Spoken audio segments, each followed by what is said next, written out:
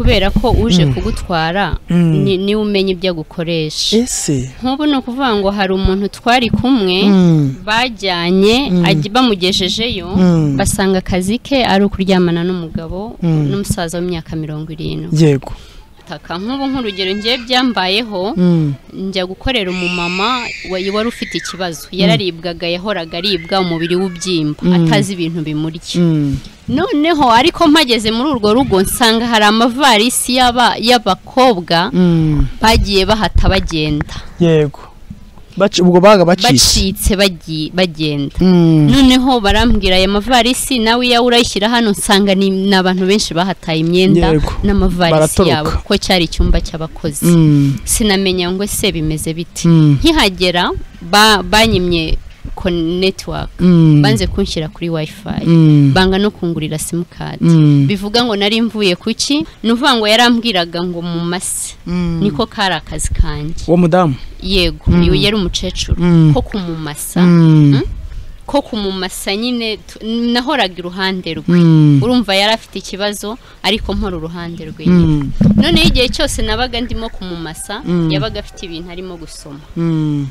Nararangizaga nagenda najya aho ku- kuryama mu cyumba cyanjye Mm. bya bintu byose akaba ari ngewe uribwa wamunanira ibirenge bikabyimba Mm. Mm? Mhm. ibirenge byanjye bikabyimba Mhm. bikabyimba bya bintu mbega nkabona ko byagize gute byanyinjiye Mm. noneho we agahita aba muzima Amaye.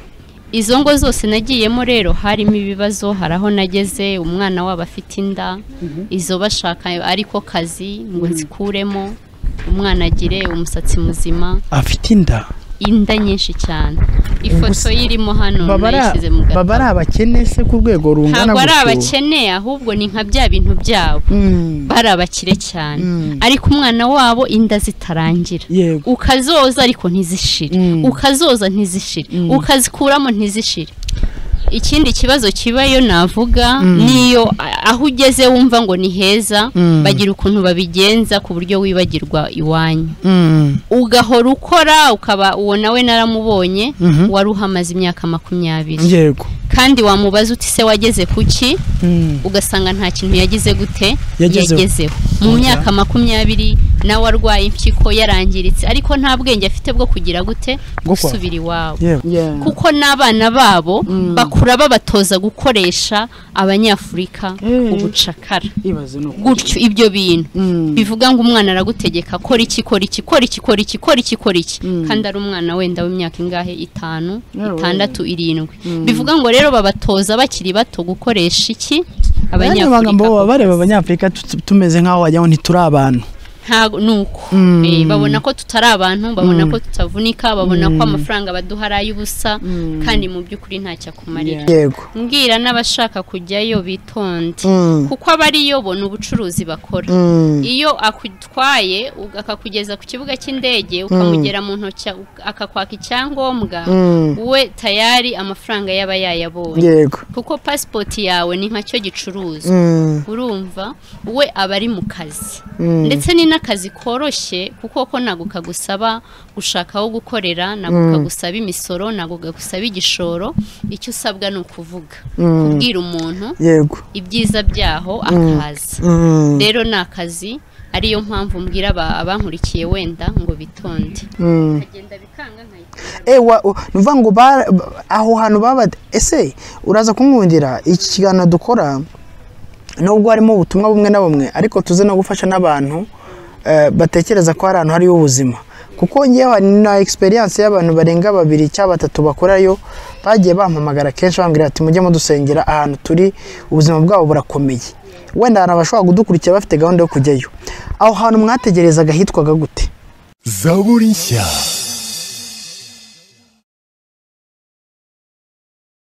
Yes bakunzi baza buri icyo twongeye kubasuza mu izina rya yesu amahoro y'imana nabe kuri mwese wowe uri mu rwanda uri hanze yarwo gubwa neza kandi wibuke ko mwami yesu kirisita agukunda kandi icyamuzanye ni ukugira ngo ubeho ni ukugira ngo ubugingo bwawe bube buzima ni ukugira ngo utarimbuka ahubwo uhabwe ubugingo buhoraho.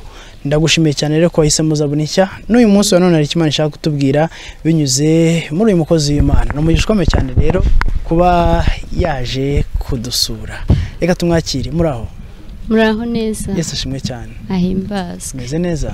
Ndashima imana. Nsubiriza abantu badukurikiye ubibwire aya mazina yawe aho usengera aho waturutse hanyuma tuze kuganira tuziranye. Yego murakoze. Mm, amazina yanjye nitwa tuyisenge jeannette. Yego. Eh, ndi umumama mfite abana babiri. Yego. Nsengera mu itorero rya deperi Mhm, kabarore. Yego. Ku itorero rya kinyeganyege. Yego. Ni mu ntara ya gabiro. Mu ntara ya gabiro. Nejejwe rero no kubana namwe n'abakunzi ba zaburi nshya Mhm, ni ikintu nifuzaga ariko uyu munsi iragikoze. Mhm. Uwiteka imana ibaha umugisha. Imana ishimwe cyane. Yego. Natwe twishimiye kubana nawe. Murakoze. Amen. Hanyuma eh, ndagira ngo tubanze dusenge imana. Nzi neza ko imana iri buze kubana natwe kuko ibyo tujya kuganira ari ingirakamaro. Ariko kandi tudafashijwe n'umwuka wera nta kintu kimwe twageraho reka dusenge mu izina rya yesu. Mana data twese uri mu ishoboye.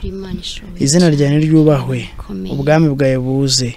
Ibyo ushaka bibe mu isi nk'uko biba mu ijuru. Reka icyubahiro cy'imana kimanuka aha hantu. Wigaragaze nk'imana. Reka icyo waturemeye gukora abe icyo dukora. Mu izina rya yesu waratubwiye ngo tugende mu mahanga tubwirize abantu ubutumwa bwiza.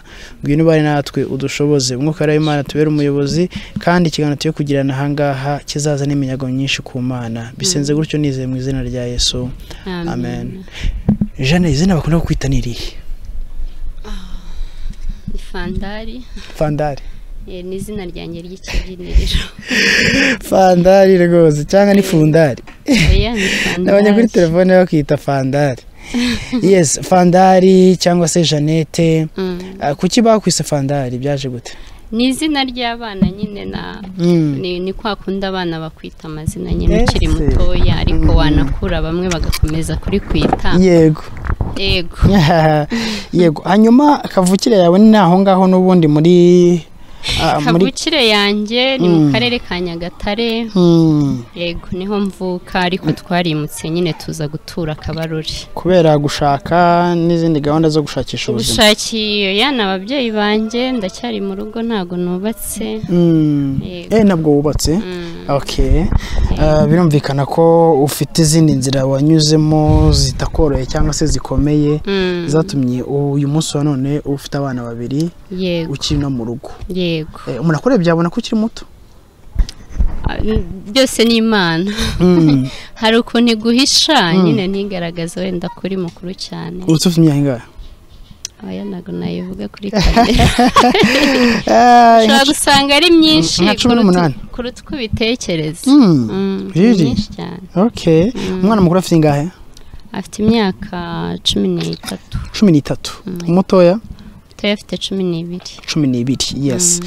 Aha reka rero twinjire mu buhamya bwawe cyane ko ufite n'ubuhamya bunini cyane kandi buri buze gukurikirwa n'ubutumwa bukomeye isi yose ikeneye kumva Mm. Eh, ndagira ngo nguhe ikaze Eh, ubusanzwe eh, jeannette uri umuntu wakuriye mu- gace abantu benshi dukunda kuvuga ko ari- agace k'abantu b'abatesi. Mm.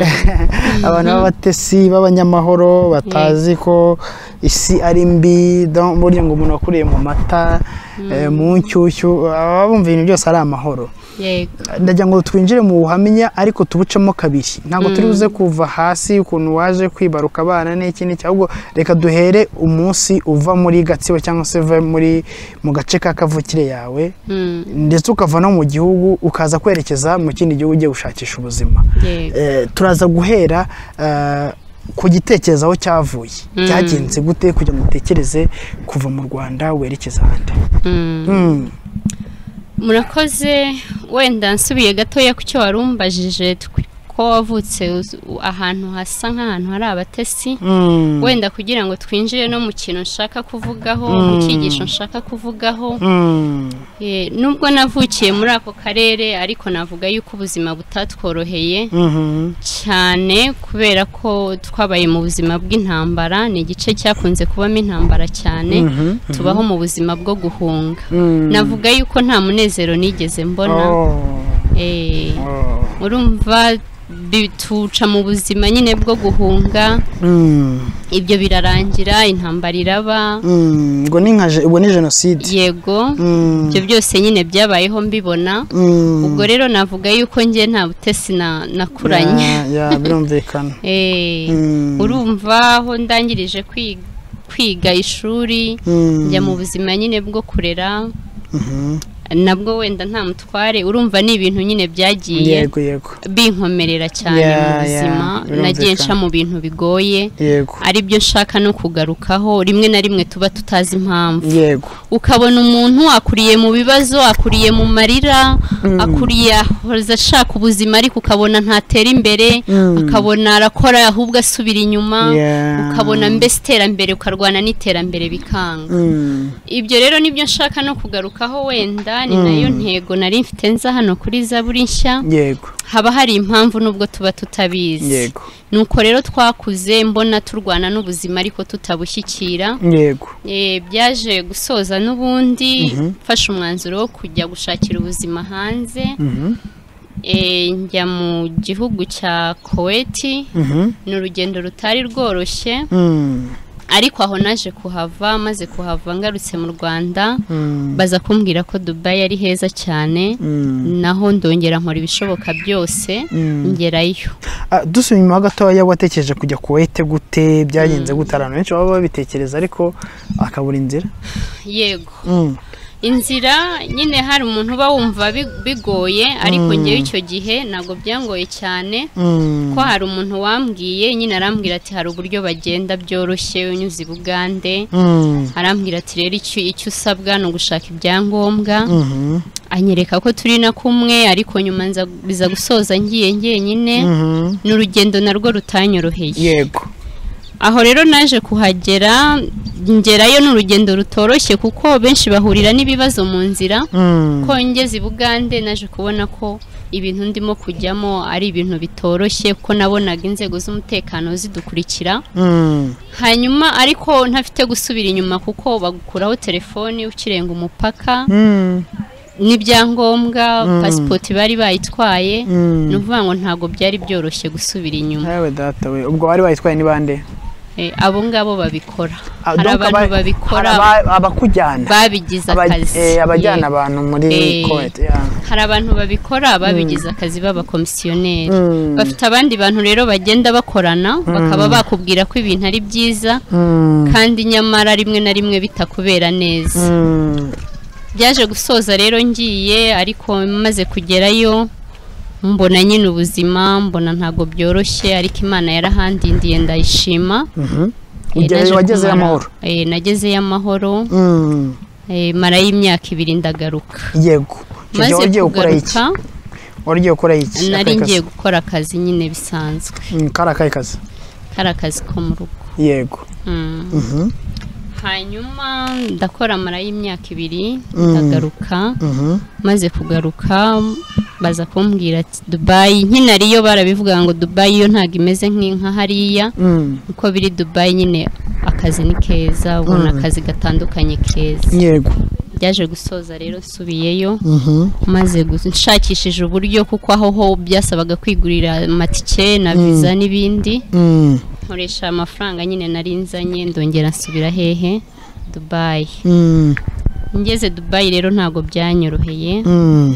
Kuko ho naragiye akazi karabura Mhm. naho ngiye bakanyirukana naho ngiye bakanyirukana ariko nkigerayo ni bwo na- na- nabonye inzozi Mhm. natangiye kubona inzozi zimbwira ngo umugisha wawe uwusize mu rwanda Mm.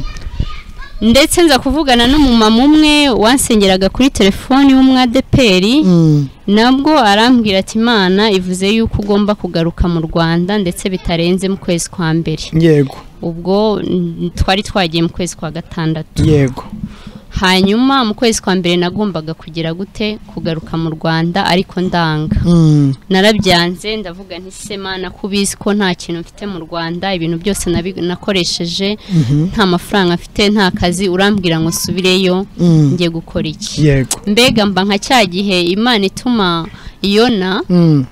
kujya inenewe agahungira hehe Itarushishi. Mm. nuko byagenze. Mm. nanjye nakomeje kwanga ijwi ry'imana ikansanga kenshi ikansanga kenshi bisoza nyinaniye. Ndakomeza ndashakisha byanga byanga byanga. Ubwo no muri dubai yakoraga akazi ko mu rugo? Nakoze akazi gatandukanye ariko hose na namaraga iminsi itatu icyumweru bakanyirukana. Yego. Ni ukuvuga ngo nta hantu nigeze ntinda Mm. ahantu natinze nahamaze ukwezi kumwe ari naho navuye ngaruka mu rwanda yego ariko nkiri aho muri icyo gihe cyose namaze nshakisha akazi nshakisha akazi Mm. naje gutegekwa kwandika Mhm. Igitabo cy'ibyo nabonaga Mm. by'ubuzima ukuntu bafataga abanyafurika ukuntu bazaga kubacuruza nyine Mm. hari aho twageze baducururiza nabwo badukuyeho ibyangombwa kandi twariyishyuriye amafaranga n'amatike byose ari ibyacu Mm. ariko n'ubundi tuhageze bata- batangira nyine badukuraho ibyangombwa badukuyeho ibyangombwa badushyira ahantu nyine twagombaga gutegerereza abakiriya baza gutwara abakozi. Ibyo rero ntabwo byoroshye kuko nahabonye ibibazo byinshi by'inzara abantu barahatindaga Mm. abandi bakagenda muri izo ngo zabo bakagaruka ari abasazi mbareba kuko njyewe na- nahamaze igihe kinini kuko naragendaga nkahita ngaruka. Mm. nkagenda bikanga nkahita ngaruka. Eh, ngo aho hantu baba ese uraza kumwundira iki kiganiro dukora nubwo harimo ubutumwa bumwe na bumwe ariko tuze no gufasha n'abantu Mm. eh, batekereza ko hari ahantu hariyo ubuzima. Kuko ngewe na experience y'abantu barenga babiri cyangwa batatu bakorayo bagiye bampamagara kenshi bambwira ati mujye mudusengera ahantu turi Mm. ubuzima bwabo burakomeye. Wenda hari abashobora kudukurikira bafite gahunda yo kujyayo. Mm. aho hantu mwategerezaga hitwaga gute? Ni ukuvuga ngo hari ahantu henshi hatandukanye. Bagira amasite menshi. Kandi hariya habayo amaofisi abikora. Yego. Ni na byo nanditse muri iki gitabo Mm. kuko birasobanutse Mm. harimo n'amafoto Mm, y'abo bantu babikora uko batangana amapasipoti mhm. nanditse iki gitabo ngira ngo kizafashe abantu. Icyo gitabo urankundi uze kukidusigira tuzayisomera abantu? turaza kubivugana ariko nakubwira n'uburyo kiboneka kuko n'ubundi niyo mpamvu nacyanditse kugira ngo kizafashe abantu mm, ugishaka kibone wenda dushyireho n'uburyo ba- n'abari ba- bakibona kuko harimo ubutumwa bwinshi nabo bubareba. Baba ariyo barimo gukorayo. Yego. Yego. Nayo nkubajije aho hantu mwategerezaga hitwa gute?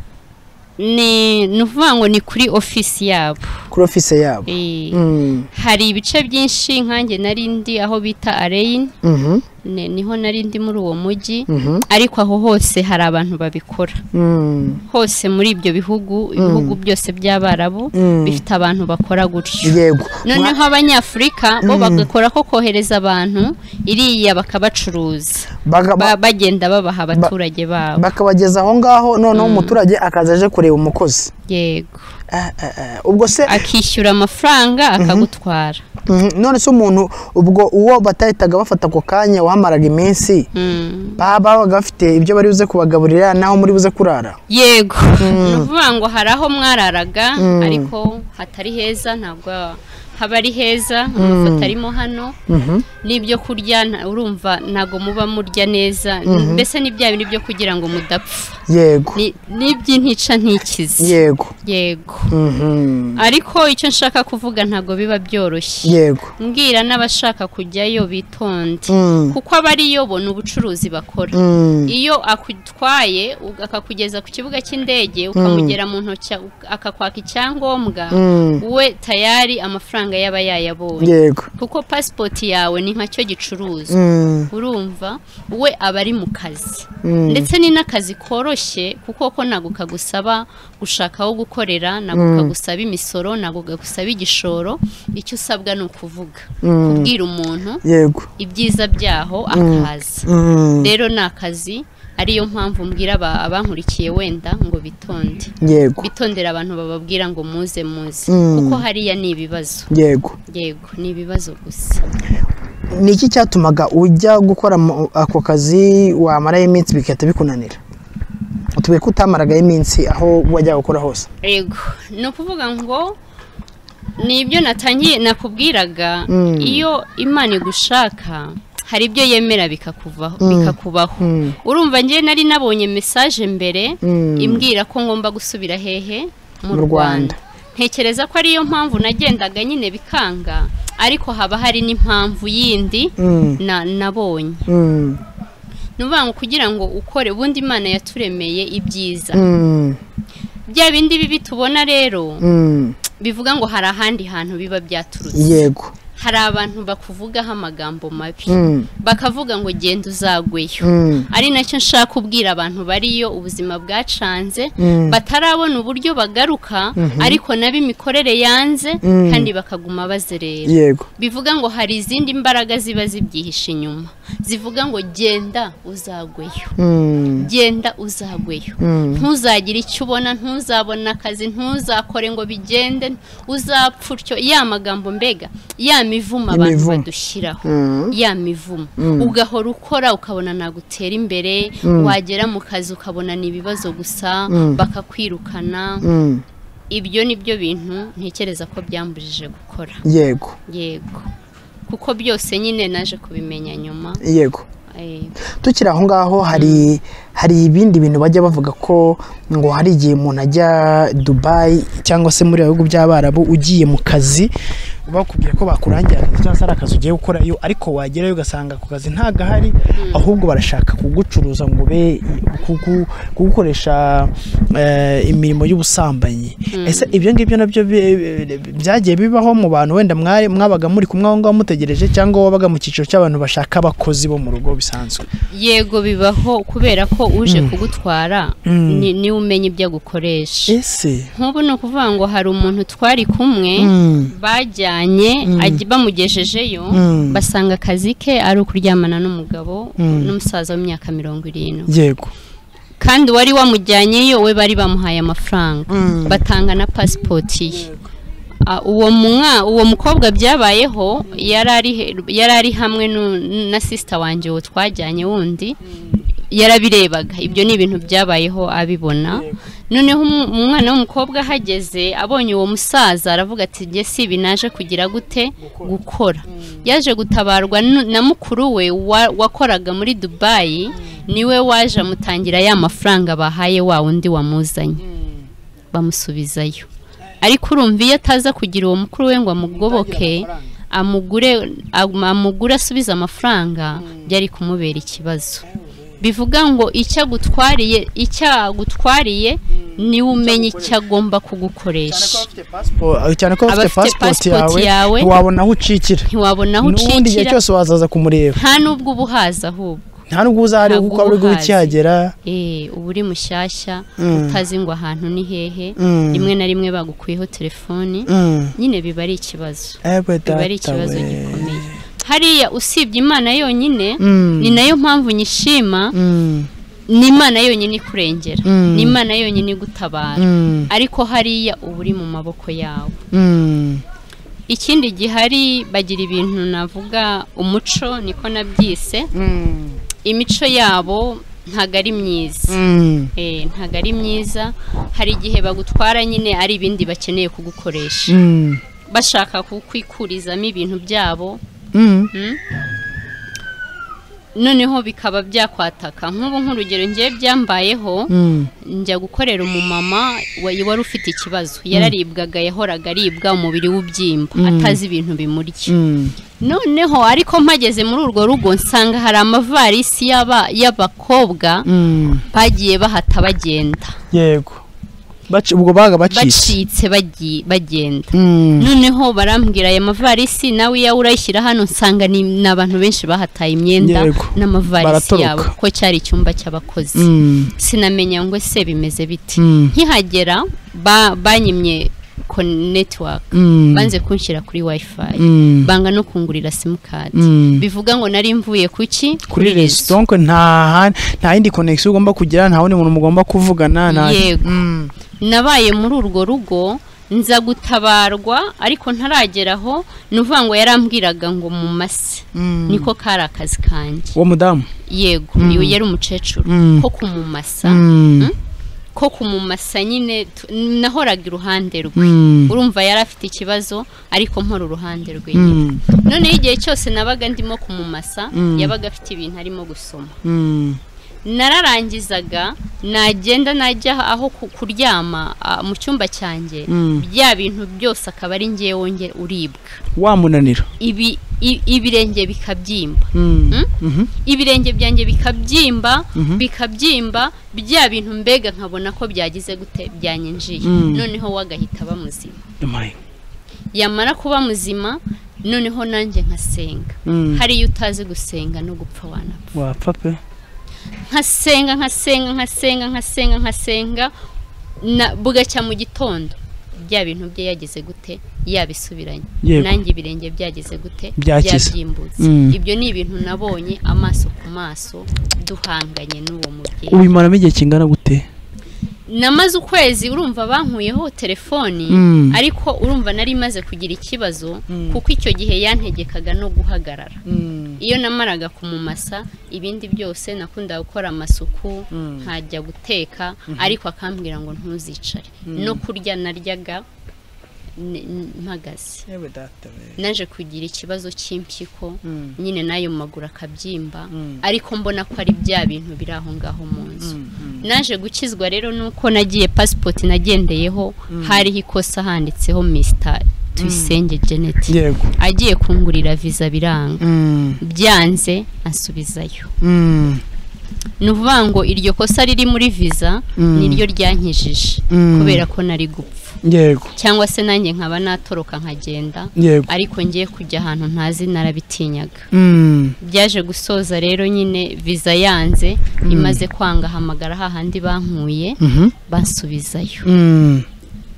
Aho rero urumva ni urugendo rutoroshye ibyo ni byo nabonye by'imyuka mibi yabo bakoresha Mm. kandi bashobora kuyigushyiramo waba udafite imbaraga z'imana Mm. ni ho hahandi abantu basara cyangwa se bakaburirwa irengero Mm. abandi bagapfa Mm. abandi bakaza ibibazo mbega biba ari byinshi yego Mm.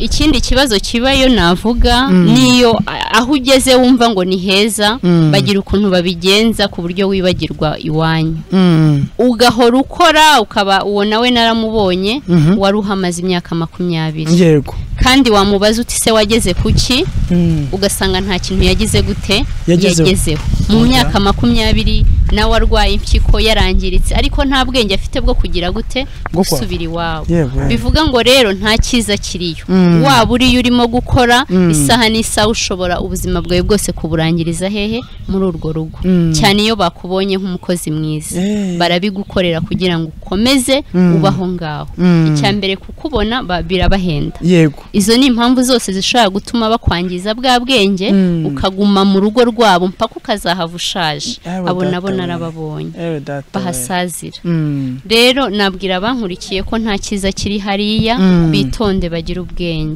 none se um, jane uraza kumwumvira n'ubundi nubwo wavuze yuko tutari buze kubyinjiramo neza Mm. burya uh, hari umurimo dushobora gukora ni bwo twakora igice ariko tukaba tugikoze neza. Icyo ndacyumvishije uh, ako ni akazi gakomeye wakoze kandi wabonaga yuko gashobora no kugutwara ubuzima iyo utaza kubusenga. Ariko se utundi tuzi wajya ukora wajya utubonamo izindi mbaraga zidasanzwe. Cyane nk'uko mu rwanda umuntu ahamagara umukozi wo mu rugo yivuriye nk'igatsebo cyangwa yivuriye nko mu mutara akaza agakora imirimo yo mu rugo isanzwe akaba nk'umwana mu rugo. Mm. Eh, utundi tuzi wajya ukora natwo twabaga tumeze nk'uko cyangwa ni ukuvuga ngo icyo kugira ngo nafate n'umwanya wo kuvuga ibi bintu wenda ni benshi bibaho ntibagire n'icyo bavuga bakanaceceka. Ariko nagiriwe amahirwe yo kujya mu bihugu byabo navuga birenze nka bibiri kuko na Jordan narahageze nahabaye ukwezi. Hari n'abandi bantu twagiye tuvugana nka nka Oman ntageze ariko mfite inshuti zahabaye. Ni ukuvuga ngo ibintu byabo ni bimwe. Bagira imico yabo baracyagira ya mico yo guterekera.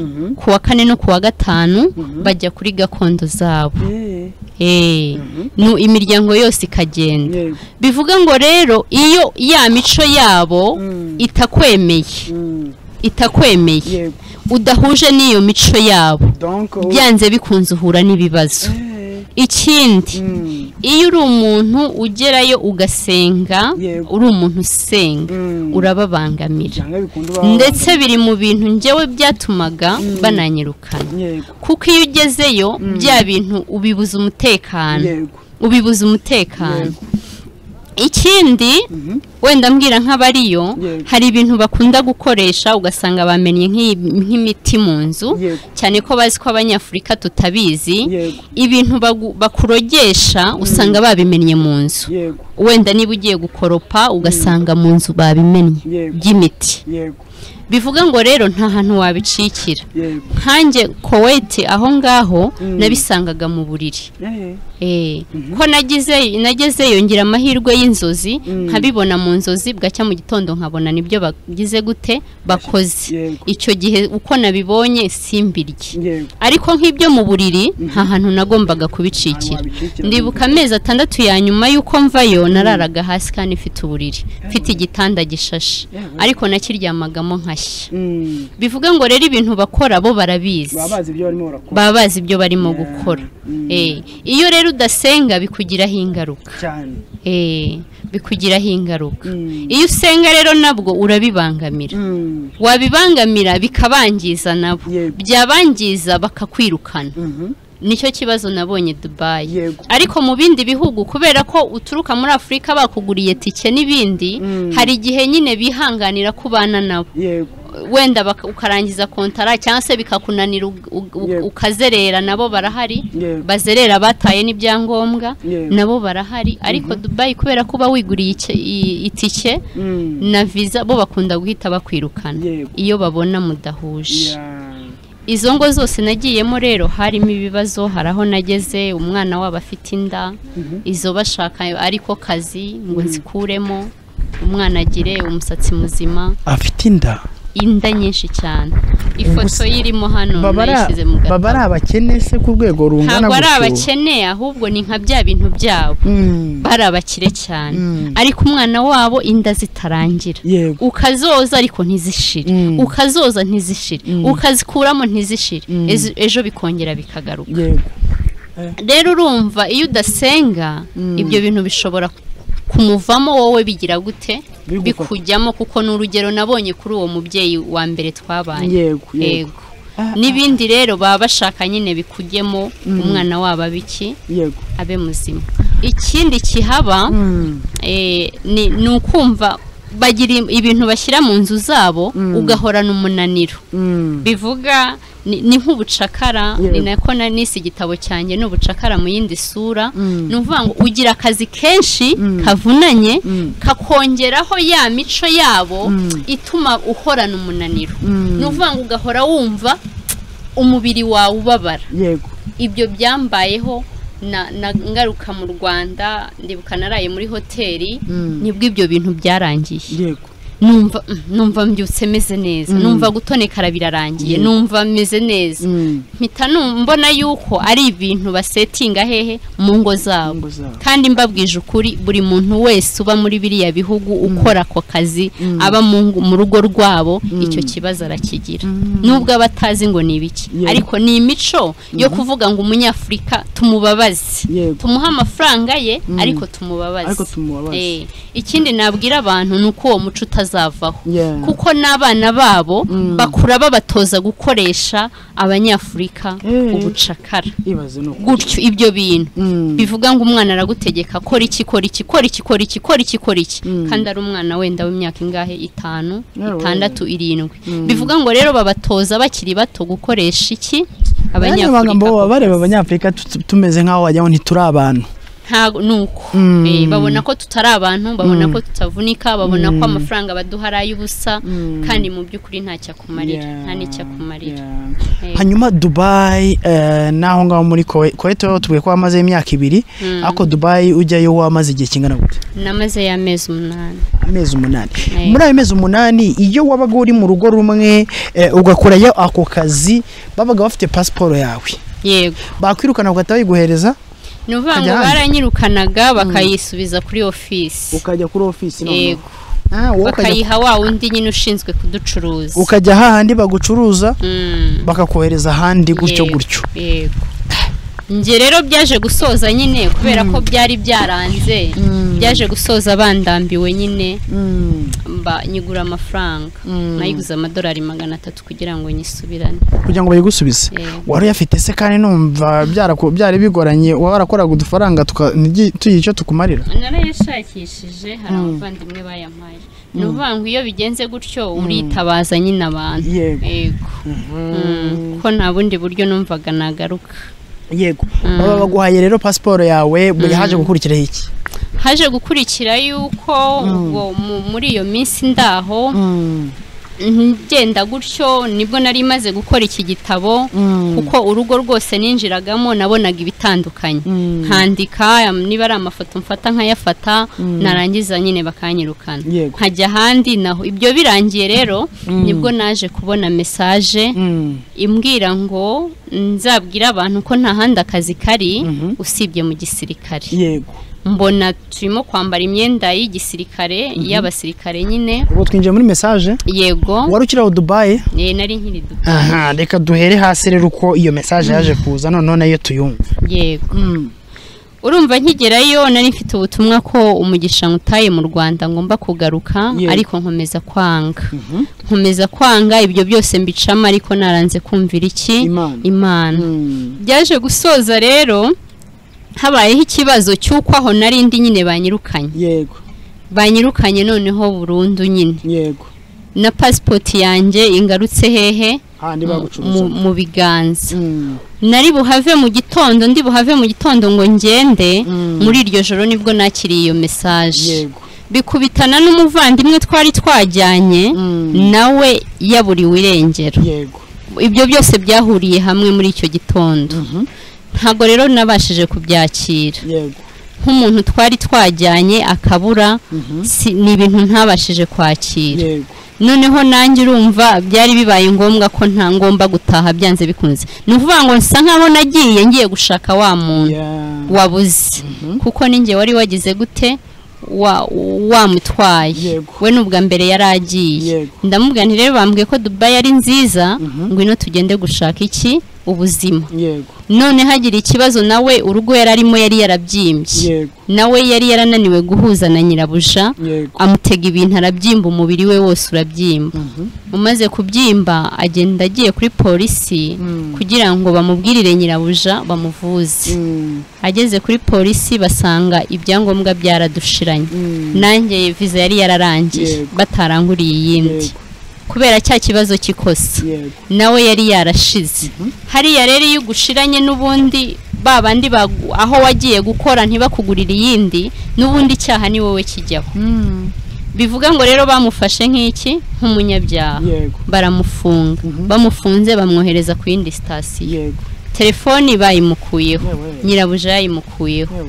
Sigarana ikibazo rero urumva iwabo barambazaga atari hehe. Mm. Byambanye rero ikibazo. Mm. nanjye kwiyumvisha ko yabuze na cyo kiba ikibazo kigize gute? Gikomeye. Mm. byaje gusoza bindenze mba ntangiye urugamba rwo gushakisha umuntu ntazi ahantu agize gute? Ari. Byarandenze nsa nkaho mbuze ubwenge. Ariko nza gufashwa n'abadiyasipora na n'abashimire bazabona iki kiganiro. Mm. Eh, nibo bamfashije njya no kuri embase baje kumfasha nyine turashakisha tumenya sitasiyo aherereyeho Mm. ariko kubera nyine bya bibazo byaje mbese naje kugira ikintu cy'ihungabana biba ngombwa ko banshyira ahantu. Nkabanza nkamera neza. Ubwo ni kuri amba- kuri ambasade wari uri n'ubundi? Eh, Mm. nagiye kuri ambasade banyohereza nyine ku bashinzwe abanyarwanda. Mm. Eh, mbese barafatanyije banshakira ahantu ho kuba. Mm. nkamara ukwezi kwarashize nari mfite ibibazo nyine bikomeye by'ihungabana. Bikomeye ariko cyane. Byaje gusoza rero ari bo bamfashije kugaruka mu rwanda Mhm. ariko musigayo. Yego. Musizeyo rero naraje urumva nari mfite ikibazo cy'umuntu wabuze utaraza i- mama wamumbaza ari hehe umwana wa- wanjye mwajyanye ari hehe? Mm, namusize. Hehe? Nanjye ntekereza ukuntu byagenze numvishe ari ikibazo. Naraje rero ndanaceceka sinababwira ko naje Mhm. ahubwo nerekeza nyine iyo gusenga. Aho ngaho ni ho nagiye rero nkunda mba mu butayu. Mhm. Ndicara ndatuza ariko wari warakize noneho usikoroje koma eh, nari meze neza ariko buhoro. Yego.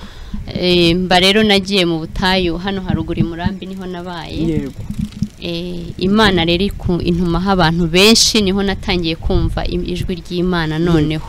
umuntu akaza akambwira ati nturutse aha n'aha imana yakuntumyeho.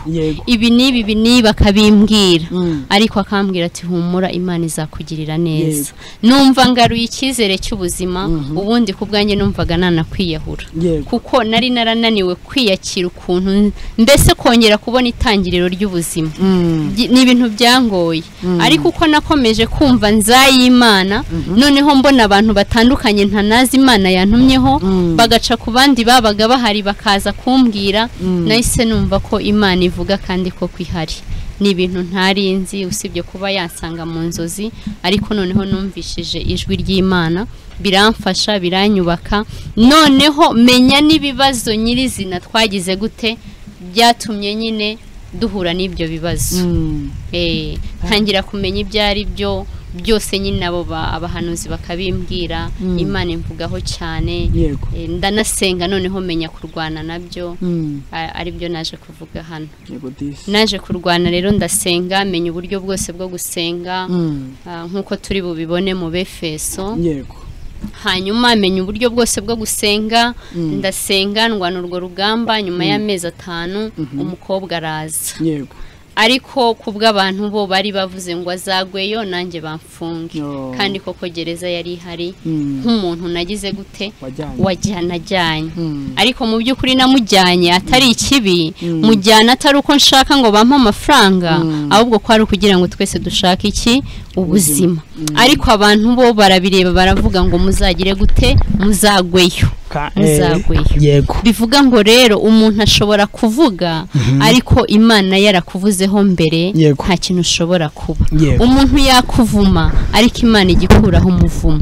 Ibyo byose narabibonye yaraturengeye ndasenga ndabohoza aza kuza bigenda neza ubu ameze neza. Mm. nanjye ndashima imana ko ndi amahoro nyuma yaho rero ni bwo nyine yantegetse nkiri aho ngaho mu masengesho naho nahamaze igihe mu butayu amezi nanone agera ku munani. Uri mu masengesho? Ndi mu butayu. Uri mu butayu. Yego. Nta ntaranabona ngo ntaremererwa no kujya mu rusengero kuko nashaka urusengero njyamo nkarubura. Mm. urumva nari ntangiye imana yari yarampaye inzozi. Mm. hari ibyo nanjye mbasha kubona. Noneho ntangiye kumva n'ibyo imana ishaka ko nkora. Mm. urumva? Yego. Ntangira kubona ntabwo nari kujya mu badivantiste ngo bikunde. Kubera ko ntabwo babyemera. Yego. Hari ibyo batemera ngo imana iravuze ibyo ntabwo babyemera Mm. ariko mu by'ukuri njye ni byo nari nkeneye yego kuko ni byo byatumye nsubira mu buzima Mhm. ubwo rero naje gutegereza kumara igihe aho ngaho mbaza imana ngo se mana Mm. nsubire mu badivantiste cyangwa njye hehe Mhm. Eh, navaga mu butayu njya mu byumba aho bita ku karago. Mm. ibyo ni byo bintu byamfashije. Nyuma rero ni bwo imana yaje kumbwira ngo ndagushaka muri adeperi ndagenda rero njya muri adeperi ujya muri adeperi Eh, ndataha noneho njya mu rugo. Muri ayo masengesho y'amezi ah, umunani yagufashije iki? Yamfashije ibintu byinshi Mm. kuko namenye namenye ubuzima. Mm. twakuze mbona duhura n'ibibazo duhura n'ibibazo turwana n'iterambere byanga. Mm. ariko naje kumenya impamvu tutigeze dutera imbere. Naje kumenya impamvu tutigeze duhirwa kuko twarize ariko kubona akazi nyine bikagenda byanga. Eh, nk'abo tuvukana nta kazi bigeze babona. Cyari ikintu nibazaga nkavuga se ko tutarabaswa kubera iki? Ariko nza kumenya nyine ko hari abantu bakuvugaho Mm. eh, Mm. ndetse bagatangira ukiri na mutoya yego Eh, noneho ugasanga imiryango ababyeyi bawe nta kintu bakora ngo batere imbere mukabikuriramo bakarinda basaza namwe babyaye ukabona ntatera imbere Mm. nta terambere mufite ibyo rero muri ayo mezi namaze umunani mu butayu Mm. naje kumenya ikibazo twahuye na cyo mu buzima bwacu bwose. Menya imva n'imvano Mm. yabyo Mm. ari byo wenda. Sinzi niba muri bunyemerere tukavugaho nta kibazo rwose. Bibiliya gatoya. Mm. ah, mu maganya ya yeremiya. Yego. Amaganya ya yeremiya igice cya gatanu. Mhm. amaganya.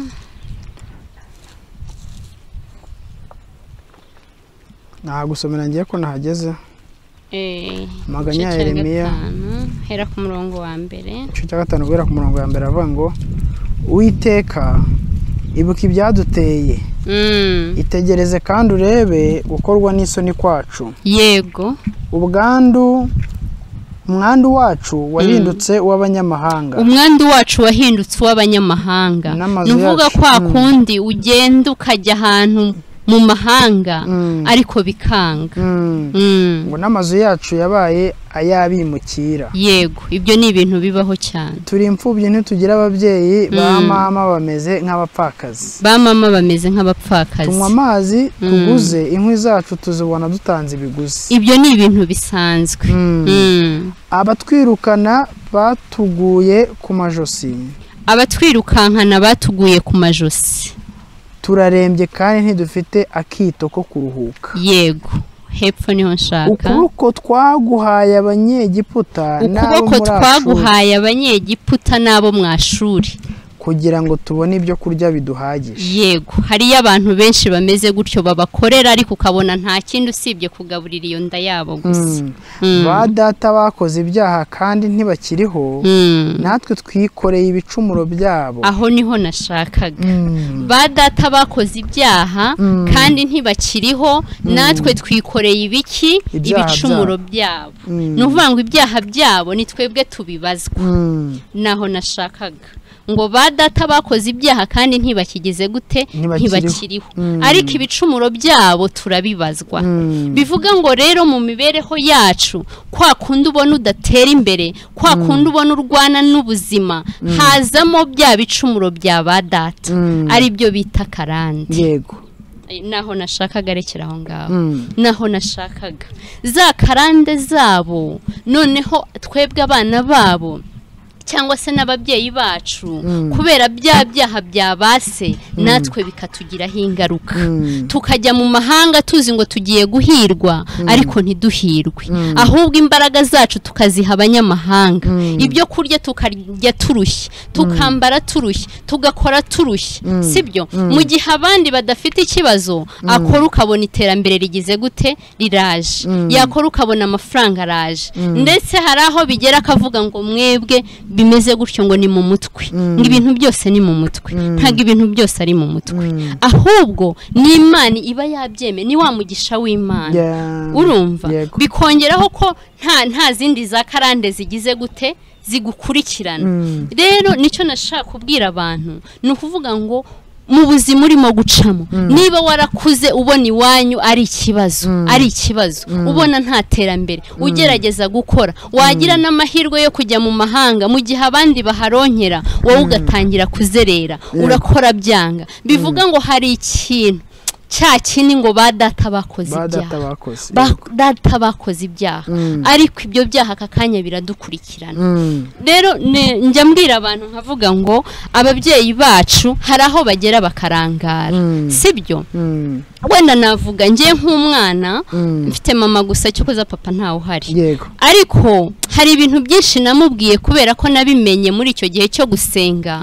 Watarazi. Ntangira kumubwira ngo mama ibi n'ibi ibi n'ibi byagenze gutya. Mm. byagenze gutya ni byo biduteje ibibazo. Mm. we atabizi. Mm. bivuze iki rero? Ababyeyi bacu bananiwe guterekera kuko iyo mico yari ihari. Ni na yo igaruka ikavuga ngo ba data bakoze ibyaha. Ba data ba data na ba se wabo hari imana bakoreye. Urumva? Igihe kiragera barazihagarika. Bya bintu bakoraga ntibabikora.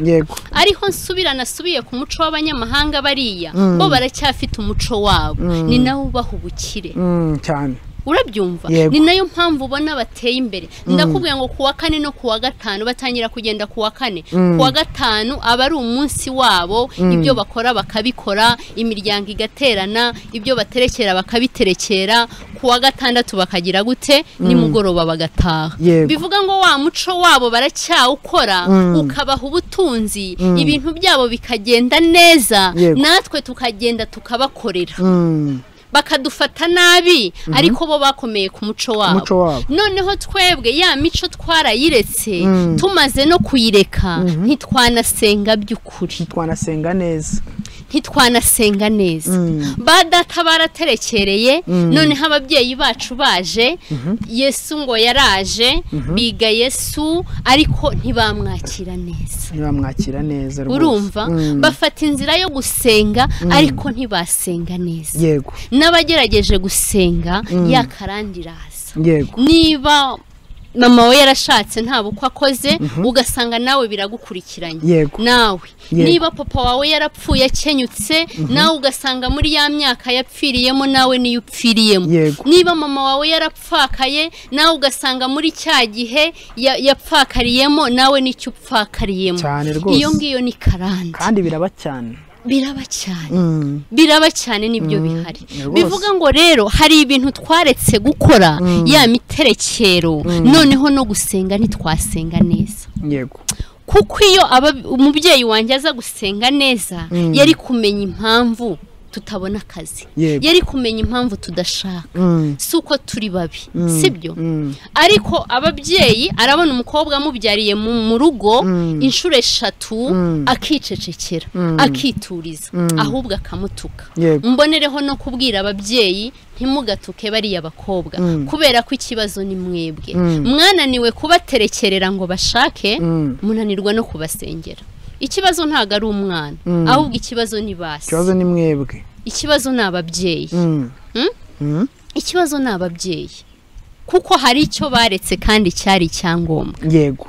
Ibyo rero ni byo naje kumenya ibyo byose menya impamvu. Ntubatse urugo menya impamvu tutabona akazi menya impamvu tutagenda ngo duhirwe ibyo byose nza kugira gute nza kubimenya. Yego. Hanyuma rero na unkurikiye nawe umeze gutyo Mm. waragiye mu mahanga warakoze ibiki biranga warwanye n'iterambere biranga Mm. eh, nkuzaniye nyine ubutumwa. Yego. Nibwo butumwa. Waragerageje ubyariye iwanyu inshuro nyinshi ubukwe byaranze warashatse uratandukana ibiki? Njya mbwira abantu nkamabwira ngo nta muntu mwiza kwisubaho. Buri muntu wese yahinduka. Ahubwo kuri iyi si dufite imyuka ibiri dukoresha. Umuntu ntabwo ari iyi sura. Mm. ahubwo umuntu ni wa wundi uri imbere. Kandi umuntu w'imbere arahinduka. Sibyo? Umuntu w'imbere we arahinduka. Bitewe n'umuntu uri kumukoresha uwo ari we. Niba umwuka w'imana arimo ari akurimo ari we urimo kukuyobora. Uzakora ibyiza. Uzakora ibyiza. Uwo mubana aza kubonamo imico myiza aza kubonamo ibyiza aza kubonamo urukundo. Mm. ariko satani namutera kuko umuntu we arahinduka. Mm. umuntu w'imbere arahinduka. Satani namutera Mm. wa ubwo ni wa mwuka mubi waje. Azagukorera ibibi. Mm. sibyo? Bivuga ngo rero icyo ugomba gukora ni iki? Wirebere umuntu muri iyi sura y'inyuma. Kuko umuntu we si isura y'inyuma. Ahubwo ni umuntu w'imbere. Mm. rero mu mwanya wo kurakarira ya sura Mm. y'inyuma rakarira wa wundi w'imbere. Kandi uw'imbere ninde ni satani. Satani. Niwe wamuteye kubikora. Satani ni we wamuteye kuguca inyuma. Satani ni we wamuteye ubusambanyi. Satani ni we wateye umuntu kwiba. Satani ni we wateye umuntu kwica. Satani ni we wateye umuntu kuroga. Sibyo? Wirebere umuntu muri ya sura. Mm. kuko reka nkubwire. Abantu batwangiza abantu badushyira mu bibazo si abantu bakure niba warabuze urubyaro umuntu wakuroze kugira ngo utabyara ntabwo ari uwakure ni umuntu wo hafi yawe wabonye bya bintu runaka umwenda wawe ibiki hari akantu baheraho bakwangiza. Uko niko kuri rwose. Sibyo? Mm. kandi umuntu wagiye kubona ahantu ngo wanyaye atware inkari umuntu wagiye kubona imihango yawe ngo azinge urubyaro rwawe. Umuntu wafashe bya bisanza byawe bya nyuma kugira ngo akuzingire urubyaro niba warigeze kubyara ntabwo ari umuntu wakure ni umuntu wa hafi yawe. Mm. ikindi abandi babikora aho bizirana kunze kuvuga ikintu cya karande Mm. uzasanga abantu batwangiza n'ubundi ari abantu b'imiryango. Kubera za karande. Mm. ya myuka bataterekereye igenda ikurikirana. Niyo mpamvu muri iki gihe uzasanga abantu bari kurwanywa n'abantu bagenzi babo. Mukuru wawe so wanyu nyoko wanyu nyogosenge Mm. kuko nibo bantu bari hafi yawe. Nibo bantu satani ari bukoreshe bakabona bya bintu byawe by'ibanze bagomba guheraho. Yego. Bivuga ngo rero utababariye Mm. ngo urebe wa muntu w'imbere kuruta kureba umuntu w'inyuma Mm. abantu twakwicana. Cyane. Twakwicana tukamarana. Ukuri sibyo? Mm. kandi ugasanga noneho urimo kwica umuvandimwe. Urimo kwica mukuru wawe. Mm. urimo kwica nyogosenge. Ariko nurwana na, cya kintu cyamukoresheje. Mm. ari we satani wa muntu azakubera mwiza. Nakubera mwiza muzabana neza. Bya bibazo bizarangira. Bivuga ngo urundi rugero satani yateje umugabo wawe. Ni umudamu nyine satani yateje umugabo wawe ubusambanyi yaguciye inyuma yagiye yabyaye ahandi Mm. sibyo Mm. noneho umurebeye muri ya sura yanciye inyuma abyaye ahandi Mm. ndatandukanye nkoze divorce Mm. Nahoze ndeba abantu batandukanye mu- mu- muri uyu mwaka ni benshi. Abantu ibihumbi birenga bitatu na. Mm, ni abantu benshi cyane. Mm, nyamara urakora divorce umugabo wawe yasambanye Mm. wagera hanze ukabona iyo divorce ukagenda kubaho wenyine ariko nawe wagera hanze ugakenera umugabo. Birangira nawe usambanye. Bikarangira nawe usambanye. Mm. ubwo se uba ukemuye ikibazo cyangwa uba ugiteje ubu giteje ba bantu bashyize mu kibazo? Mhm, ba bana bawe nawe wishyize mu kibazo. Mm. kuko niyo wabona amafaranga uzakenera umugabo. Cyane. Nubona ubuzima bwiza uzakenera umugabo. Cyane. Nibigucanga uzakenera kwinjiza umugabo uguha amafaranga Mm. kugira ngo uhahire ba bana cyangwa nawe urye nyamara wananiwe kwihanganira umugabo wawe Mm. ubusambanyi. Mm. Ariko menya ngo umugabo wawe si we. Umuteje satani noneho ntabwo ari we umuteje satani Nawe witeje satani. Mm. bivuga ngo wa wundi satani yakoresheje kugira ngo abasenyere Mm. w'icyo yashakaga yakigezeho. Kandi kukigeraho nawe biguteje kurimbuka. Kuko nutabona umugabo ngo ushake Mm. uzakora bwa busambanyi. Mm. kandi ni bwo wahoye iki? Wa mugabo wawe. Bivuga ngo rero igisubizo ntabwo ari ubusambanyi. Yego. Igisubizo ntabwo ari ugutana. Mm. igisubizo ntabwo ari divorce. Mm. ahubwo igisubizo ni ukumenya ukuntu urwana na cya kintu cyateje umugabo wawe gusambana. Ni ukumenya ikintu urwana ukuntu urwana na cya kintu cyateje umugore wawe ubusambanyi Mm. ni ukumenya ukuntu urwana na cya kintu cyatumye umuvandimwe wawe akuroga. Mm. akakubuza ubuzima. Akakubuza gutera imbere. Mm. icyo rero ni cyo ngira ngo tugarukeho. Yego. Ni ukuvuga ngo imana imbwira ngo nzabwire inshuti zanjye ngo ntahandi akazi kari usibye mu gisirikare. Mm. si uko imyaka nari mfite yari yanyemereraga kujya mu gisirikare. Mm. aka kanya nawe cyangwa udukurikiye si uko imyaka afite Mm. ari bujye hehe ari bujye mu gisirikare. Ahubwo naje mu gihe natinze naje kwiga umusirikare. Mhm. icyo ari cyo ni ukuvuga ngo umusirikare icya mbere ajya ku ikosi. Yego. Murabyumva?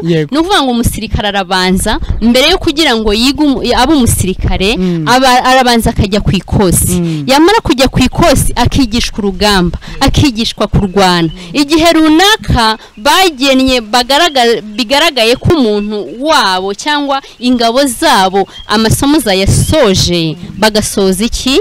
Ikosi. Bamara gusoza ikosi akajya kurwana. Bivuze iki rero?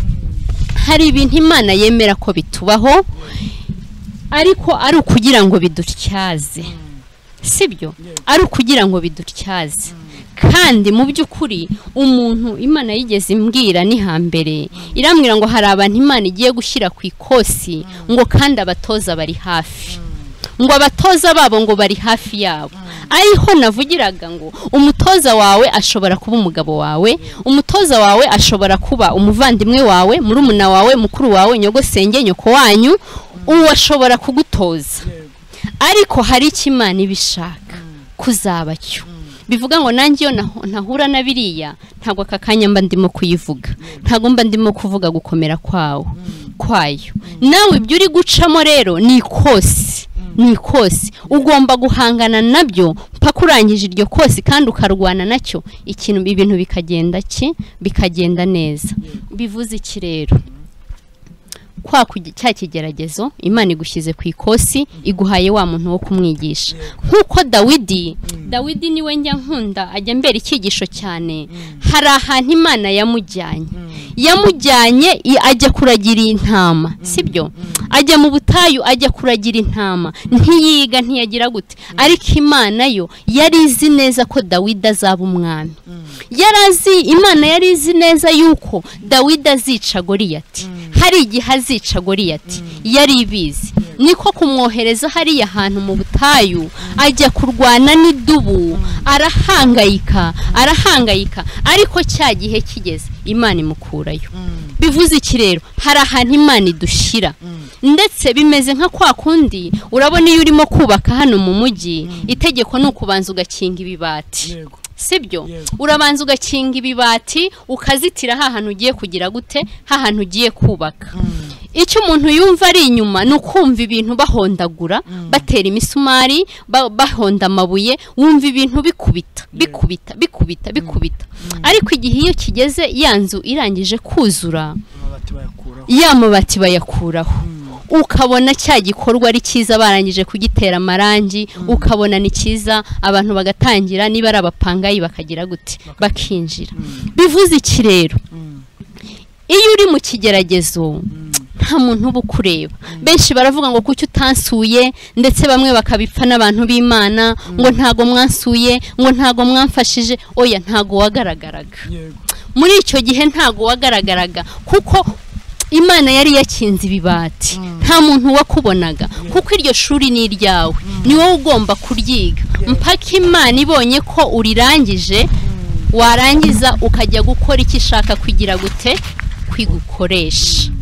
Bivuga ngo rero ikigeragezo urimo urimo aka kanya hari icyo imana ishaka? Hari ikirimo kukwigisha? Ahubwo iga neza kugira ngo usoze. Umere nk'uko dawidi arangije kwiga yagiye kurwana nande na goriyati nawe nurangiza ishuri ryawe neza hari icyo uzaba cyo. Kuko ijambo rirambwira ngo Yesu akize uriya muntu wa wavutse ari impumyi. Baramubajije ngo se uyu muntu yakoze icyaha? Cyangwa ababyeyi be nibo bakoze icyaha? Arabwira ngo ari uyu muntu nta cyaha yakoze n'ababyeyi be nta cyaha bakoze ngo ahubwo byabereyeho kugira ngo imirimo y'imana yerekanirwe muri we. Bivuga ngo hari ibyo imana yemera bikatubaho igakoresha ba bantu bakadushyira mu bigeragezo ikemera za karande zikatu zikatugiraho ububasha ariko nanone ikigeragezo si karande. Bivuga ngo ibyo ngibyo igihe kijya kigera imana igashyiraho iki? Iherezo. Iyo wayemereye ukagenda neza. Ariko iyo wanze n'ubundi wakwanga wabyemera icyo uzaba cyo ntaho kijya. Kandi icyo imana ishaka kugukoresha byanze bikunze uragikora. Kuko na yo nayanze kumvira byashoje agiye mu nda y'urufi agira gute? Bisoza n'ubundi agiye hehe? Aho ya- aho yari yanze kujya. Nanjye nagiye dubayi imana imbwiye ngo ngaruke ndanga ariko byashoje n'ubundi ngarutse. Bivuga ngo rero hari abantu benshi banazi ko imana ibashaka. Banabizi ayo makuru bagize gute? Bayafite. Ariko banze gufata umwanzuro. Sibyo? Bivuga ngo rero ibyo bibazo byose nibo barimo kubyiteza. Ahubwo emerera imana ugendane n'ijwi ryayo. Hanyuma urebe ko bya bindi byose bitagira gute. Bitarangira. Hanyuma rero nihuse ba bandi bari muri izo ntambara ba bandi bari mu rugamba ba bandi byanze byanze bibaza basenze cyane basenze ndetse banatanga byinshi ngo babasengere. Hari abantu bumva ko batungwa n'amasengesho y'abandi. Badashaka kwisengera. Akumva ahubwo yabwira runaka akamusengera yabwira runaka akamusengera. Ubutumwa bwanjye buravuga ngo nta handi akazi kari. Usibye hehe? Mu gisirikare. Bivuga ngo ikibazo ufite ni wowe ugomba kurwana kugira ngo ukigire gute? Ukivemo. Sibyo? Bivuga ngo hari abantu imana ishaka ko bo ubwabo barwana n'ibibazo bagize gute? Barimo mpaka bya bibazo bagize gute? Babivuyemo nibona ko ukeneye umusada? Kuko n'ingabo ukeneye umusada? Kuko n'ingabo iyo zigiye ku rugamba iyo zikeneye umusada nyine barazi- barawusaba. Sibyo? Ariyo mpamvu navugaga ngo tugiye kwiga kuki ku musirikare. Umusirikare. Rero nize ku musirikare cyane. Umusirikare hari ibintu bimuranga. Aba yagiye ku ikosi ni naryo nasobanuragaho bivuga ngo hari abantu benshi bari ku makosi. Ariko kugira ngo bazabe abantu bakomeye bazabone na ya maranga bivuga ngo rero umusirikare icya mbere iyo amaze gutozwa yambara nyine uniform yarangije ikosi Mm. yambara iniforume yamara kwambara iniforume agahabwa ibyangombwa byose by'umusirikare yarangiza akajya ku rugamba Mm. bari ku maso bari ku ikosi hari ibyo biga Mm. nta musirikare ugira amagambo sibyo umusirikare wese ategetswe kugira ibanga ni ukuvuga ngo ndavuga bikeya Mm. ntago nabirondora byose Mm. ariko umusirikare agomba kugira ibanga Mm. Kubera ko ntabwo aba azi ngo umwanzi ari hehe. Mm. ntabwo aba azi ngo umwanzi yego dushobora kuba turi kumwe ku rugamba ariko uri umugambanyi kandi twese twambaye iniforume Mm. dukorera nu- nu- n'umutware umwe. Mm. turi no mu gisirikare kimwe. Ariko nkaba ndi umugambanyi utagize gute wowe utabizi. Kandi turi kumwe. Bivuga ngo umusirikare ategekwa kugira gute? Kugira ibanga. Nitubisanisha no, no, no mu buryo bw'umwuka. Umukristo abakristo muri iki gihe batinze ku rugamba kubera kuvuga. Imana yakubwiye ibintu sibyo? Udahari utangiye kuba- uri wenyine utangiye kubishyira ku karubanda.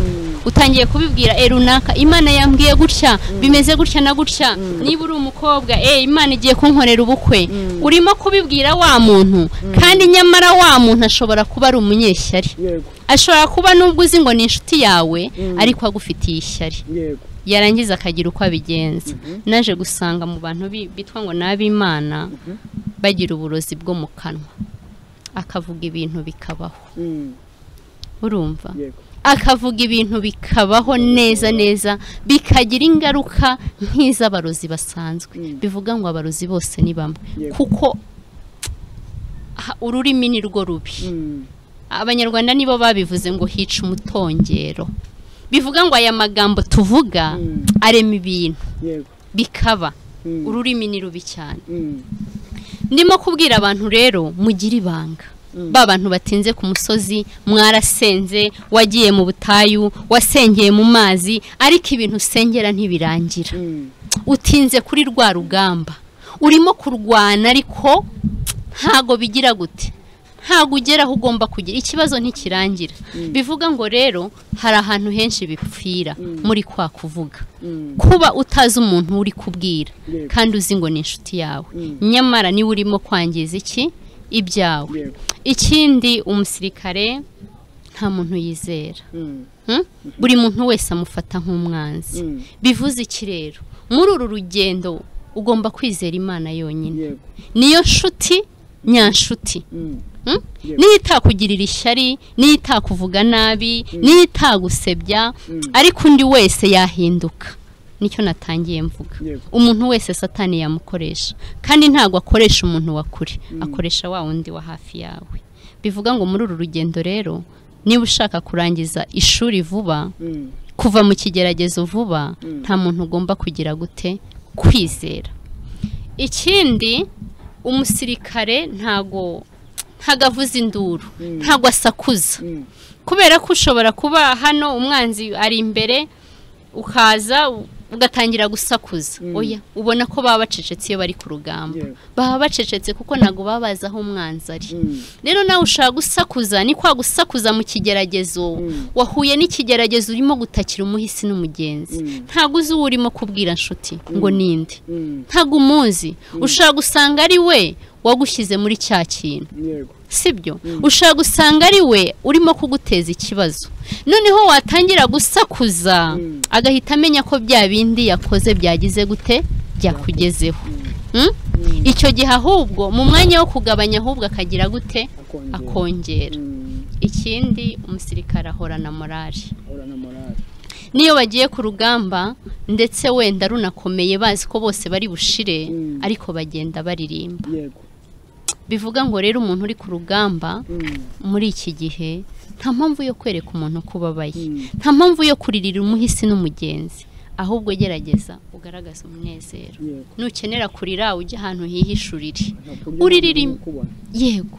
Uririre imana yawe uyiririre nurangiza wikomereze. Ukubona amenye ko wa mwanzi wawe ntago azamenya ibyo arimo nta gisubizo azaba afite.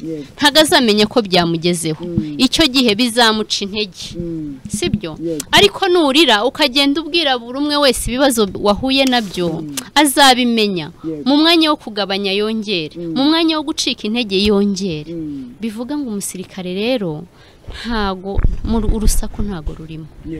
Ikindi iyo agenda buri umwe wese aramumenya. Niyo yaba atambaye unifomu ariko umusirikare aba atandukanye bitewe n'uko agenda. Bivuga ngo tugomba gutandukana n'iki? N'ab'isi. Niba uri umugenzi ujya mu ijuru uri umusirikare wa kirisito ngira ngo noneho tubigarure mu mwuka twese turi abasirikare ba kirisito ni na cyo dusaba? Tugomba gutandukana n'ab'isi. Bivuga ngo niba uri umukirisito umuntu wese agomba kukumenya umuntu agomba kukureba akavuga ngo uyu muntu atandukanye n'iki? Uyu koko ni umwana w'imana. Uyu koko ni umugenzi ujya mu ijoro kuko ntabwo ugomba kuba usa n'ab'isi. Nk'uko umusirikare atandukanye n'abantu b'imana bagomba gutandukana n'iki? N'abasivire sibyo? Bagomba gutandukana n'abasivire ni byinshi rero twakwigira ku musirikare ubwo abankurikiye bakomeze babyumve babisanishe. Sibyo rero ni ukuvuga ngo ya myenda uko nabonaga tuyambaye n'ubundi turasoma mu befeso somera mu befeso noneho niba nta handi akazi kari akazi kose kari mu gisirikare bivuga ngo tugiye kwambara intwaro z'iki? Z'imana. Tugiye kwambara intwaro z'imana abefeso gatandatu abefeso gatandatu eh, igice cya gatandatu umurongo wa cumi. Umurongo wa cumi haravuga ngo ibisigaye mukomere mu mwami no mu mbaraga z'ubushobozi bwe bwinshi. Yego. Mwambara intwaro zose z'imana kugira ngo mubashe guhagarara mudatsinzwe n'uburiganya bwa satani. Mhm. kuko tutakirana n'abafite amaraso n'umubiri ahubwo dukirana n'abatware n'abafite ubushobozi n'abategeka iyi si y'umwijima Mm. n'imyuka mibi y'ahantu ho mu- ijuru. Yego. Nuko rero mutware intwaro zose aho z'imana ni ho nshaka ku murongo wa cumi na gatatu. Kugira ariko ngo hejuru ngo twambare intwaro zose z'iki? Ngo mwambare intwaro zose z'imana. Kugira ngo mubashe guhagarara mudatsinzwe n'uburiganya bwande bwa satani. Ngo kuko tudakirana n'abafite amaraso n'umubiri ngo ahubwo dukirana n'abatware n'abafite ubushobozi n'abategeka iyi si y'umwijima n'imyuka mibi y'ahantu ho mu ijuru. Yego. Bivuga ngo abantu turimo kurwana nabo Mm. twebwe si abantu bagaragara. Mm. nk'uko niba twarimo tuvuga umusirikare bo baba barwana n'abantu bareba. Mm. Bahanganye. Ariko twebwe abantu duhanganye n'iyindi myuka duhanganye n'ibintu tutareba. Ariko bihari bitugiraho ingaruka. Mm? babitongera mu mwuka bikatugiraho ingaruka mu buryo bw'iki? Bw'umubiri kandi bifatika. Bivuga ngo rero no kurwana na byo ntabwo tugomba kurwana na byo mu mubiri ahubwo tugomba kurwana na byo mu mwuka. Mm. kandi ukumva yuko ugomba kuba umusirikare kandi ukumva yuko ugomba kurwana na cya kintu. Ariho nababwiraga ngo wirebere umuntu inyuma kuko umuntu si uw'inyuma ahubwo umuntu ni uw'imbere. Cya kintu niba ya- yadutsweho n'umwuka w'ubusambanyi Mm. senga wirukana wa mwuka muri we. Yego. Urumva? Mm. nuwirukana nurwana na cyo ukakinesha wa muntu ubusambanyi azabwihana bureke. Yego. hanyuma akubere iki? Akubere mwiza. Urwo ni urugero ntanze. Buri umwe wese arebe ikibazo afite Mm. Agisanishe n'ibyo. Mm. yumve ko ikibazo afite yaba ari uwo babana yaba ari umuturanyi we yumve ko agomba guhangana na wa mwuka. Yego. Ntabwo uhanganye na wa muntu Yego. ahubwo uhanganye nawe ya myuka. Wa muntu umukoresha w'imbere Mm. yego. Mm. noneho rero urumva yuko ntabwo turwanira mu mubiri nk'abasirikari basanzwe. Ahubwo tugiye kurwanira hehe mu mwuka. Noneho cumi na gatatu baratubwira ngo nuko rero mutware intwaro zose z'iki z'imana kugira ngo mubashe gukomera ku munsi mubi Mm. kandi murangije byose Mm. mubashe guhagarara mudatsinzwe Mm. bivuga ngo nutwara za ntwaro zose Mm. gutsindwa ntabwo bigize gute ntabwo birimo Mm. cumi na kane noneho rero ngo muhagarare mushikamye mukenyeye ukuri Mm. ubwo buri umwe wese atekereze kuri wa musirikare yego umukenyero Mm. Ntekereza ko ari umukandara. Niwo bakenyeza Mm. noneho ngo dukenyere iki? Ukuri. Ukuri. Mm. umuntu aba umunyakuri. Mm. avugisha ukuri. Ngo duke- dukenyeye iki? Muhagarare mushikamye mukenyeye ukuri. Ukuri. Ni ukuvuga ngo umusirikare agira uko ahagarara kuko yaratojwe. Kandi nawe ibyo uri gucamo waratojwe. Ahubwo ugiye kujya ku rugamba urwane na byo kugira ngo ubivemo. Sibyo Mm. Noneho ugiye gukenyera ukuri.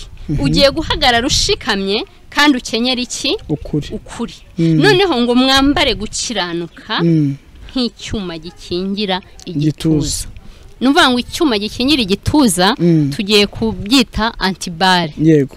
Sibyo? Yego. Ni ya antibare ubwo buri umwe wese areba iki? Umusirikare.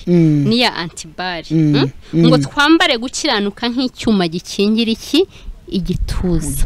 Bivuga ngo nukiranuka nta muntu uzakurasa. Ya mahembe bazayohereza aceho. Yego. bwa burozi uzaburya uburuke. Bya bindi bibi byose buri umwe wese yumva ibye. Sibyo? Mm. Wa muvumo bakuvuma ntuzagufata. Kuko wambaye iki? Gukiranuka. Wambaye ikintu gikingira iki? Mm. igituza. Mm. ego. Ngo mukwesa inkweto nizo butumwa bwiza. Zaki za rugagi. Yego. Mm? Mm. ni bwo ni ubutumwa ki? Mukwesa inkweto ni bwo butumwa bwiza. Mm. bivuga ngo ya rugagi ni ni ubutumwa ki? Ni ubutumwa bwiza. Mm. ngo bw'amahoro bubiteguza. Yego. Guhora witeguye. Mm. ntabwo tuzi umunsi n'iki n'igihe ahubwo turasabwa kugira gute kwitegura. Yego. ngo kandi ikigeretse kuri byose Mm. mutware kwizera nk'ingabo. Urumva? Mm. ngo ariko ariko muzashoboza kuzimisha imyambi ya wa mubi yose yaka umuriro. Dutware kwizera nk'ingabo. Abankurikiye barabyumva. Ingabo ah, ni icyuma na cyo Mm. Bakunda kugira gute? Ah, ba- barwanishaga kera bakirasa imyambi ariko n'ubu nabonye nyine n'ubundi bihari. Mm. ariko ngo dutware kwizera nk'iki? Nk'ingabo? Mm. ngo ariko tuzabashisha kuzimisha imyambi ya wa mubi. Imyambi satani nakurasa ugire gute? Ukinge Mm. satani rero turasa mu buryo butandukanye. Mm. hari abaza baguca intege bakubwira ko bidashoboka baguca intege muri ubu buzima. Satani aturasa kwinshi. Sibyo? Uwo mwashakanye ukajya kubona ukabona nyine umusanze aryamanye n'umuntu kiriya ni ikibombe satani aba agukubise. Sibyo? Ugasanga umuntu aragututse wa wundi wagiriraga neza ugasanga ni we uguhemukiye ni we ukugambaniye ni muri ubwo buryo satani agenda agira gute aturasamo. Kuba ikintu tutari twiteze ugikorewe n'umuntu wari wizeye. Ukabona inshuti yawe niyo iguhemukiye. Ukabona niyo ikugambaniye. Ibyo ni ibi- ni ibisasu satani agenda agira gute? Aturasa. Ngo ariko kwa kwizera nidutwara kwizera nk'ingabo ni byo bintu bizatuma turasa dukinga bya bintu. Ubibone ariko kubera ko hari uwo wizeye aguha imbaraga zo kubasha kugira gute? Kubyihanganira. Ikindi ngo mwakire agakiza ngo kabe ingofero. Ya ngofero noneho abasirikare bagize gute? Bambaye. Ngo twebwe ngo twakire agakiza ngo katubere iki? Ingofero. Ngo mwakire n'inkota y'umwuka ariyo jambo ry'imana. Inkota inkota y'umwuka ariyo jambo ry'imana. Bivuga ngo rya jambo ry'imana. Niyo nkota. Mm. sibyo? Ngo musengeshe umwuka iteka mu buryo bwose bwo gusenga no kwinginga ngo kandi ku bw'ibyo mugumye rwose kuba maso musabire abera bose. Ndagaruka hano ngo musengeshe umwuka iteka mu buryo bwose bwo gusenga. musengeshe umwuka iteka mu buryo bwose bwo kugira gute bwo gusenga. Bivuga ngo gusenga harimo uburyo bwinshi. Ntabwo ari uburyo bumwe. Bivuze ngo rero niba urugamba ubona urwana ukabona ntabwo birangira. Ukabona ntacyo ntacyo urimo kugeraho. Urugamba ntirurangira. Banza umenye uburyo urimo kurwanamo. Sibyo? Yego. Ndibuka nitugaruka mu mateka ubaye uri umusirikare sibyo? Mm. ukaba ukamara ahantu imyaka itanu. Mm. ni ho washinze ikirindiro. Uhamaze imyaka itanu. Warangiza ukabona nta hantu na hamwe uragera. Ukabona n'umwanzi nturamutsimburaho na gatoya. Icyo gihe uba ugomba guhindura uburyo. Uba ugomba guhindura icyerekezo. Sibyo? Uba ugomba guhindura icyerekezo. Bivuga ngo rero ni bwa buryo bwose bwo gusenga. Wasengeye ahantu hamwe urugero ufite umunyamasengesho reka mbivuge mu buryo bwumvikana. Ha- hari umuntu ujya ubwira buri kimwe cyose ngo agusengere. Mbese uguheka mu masengesho. Uhora ubwira uhora ubwira. Agusengeye imyaka icumi ibintu ntabwo bigira gute? Ntibihinduka. Ndatanga urugero hari ahantu imana yagiye yantumye muri gurupe ahantu ngo njye gusenga. Nkasanga umwana w'umukobwa wari uhamaze imyaka icumi. Ahaboneka ku cyumweru no ku wa gatatu nijoro. Aho hantu. Mu by'ukuri uwo mubyeyi imana yari ngo yaramubwiye ngo azamubera marene bamaranye imyaka icumi aho hantu. Sibyo? Noneho njye mpageze mpasengeye amezi atatu imana iza kunyereka yuko uwo mubyeyi ari we wafashe uwo mwana w'umukobwa. Urumva? Kubera iki? Yakundaga nyine kuba hari abantu bagira impano zo kwakira kubwiriza kugira gute. Noneho akareba mbese agahora ashaka ngo amube iruhande. Agahora ashaka ngo amube iruhande. Kubera ko imana yamuhaye gutegeka rero imana iyo ikubwiye ngo nkuhaye gutegeka kuvuma cyangwa uzavuma nzamuvuma uzasabira umugisha nzawumuha hari ikintu gikomeye imana ibiguhaye. Biba bisaba ko ari wowe ugomba kumenya uburyo ugikoresha bivuga ngo abantu benshi b'imana na byo biri mu bintu birimo kumbabaza. Hari ibintu barimo gukora bagahemukira abandi babizi cyangwa se batabizi. Sibyo? Ukandeba ukifuza ni na cyo kintu gikunda kuba muri biriya bihugu. Iyo akurebye akabona uri umwana mwiza ntiwiba uza akazi hari uburyo abigenza akagufatira. Eh, ukaguma aho nyine. Ntugende. Rero hari n'abandi bantu barimo gutuma tudasubizwa kubera ko badushaka. Sibyo? Hari icyo turimo kubafasha. Akavuga ati nusubizwa ukagenda sinzongera kumubona. Urugero nagusengeraga kubera ko umpaye amafaranga hari ibintu runaka ujya umfasha kubera ko ndimo kugusengera. Sibyo? Ukagira nawe icyo ukora umfasha mu buzima busanzwe. Urumva nusubizwa se uzongera kubikora? Cyangwa uzagenda? Washubijwe nyine uzajya mu byawe. Ufite ibindi uzajyamo. Cya kinini nagusengeragaho cyarangiye.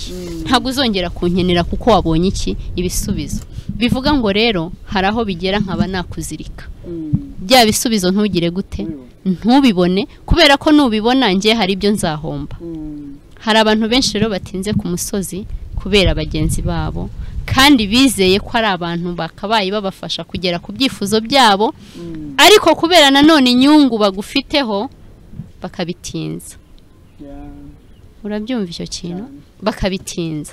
Bivuga ngo rero ni cyo nagereranyije na wa muntu urimo gusenga utinze ku musozi adasubizwa. Birashoboka ko ari ba bantu bari kumwe ku karago cyangwa mu butayu aho musengera ntago mbizi ariko genzura ba bantu. Muri kumwe.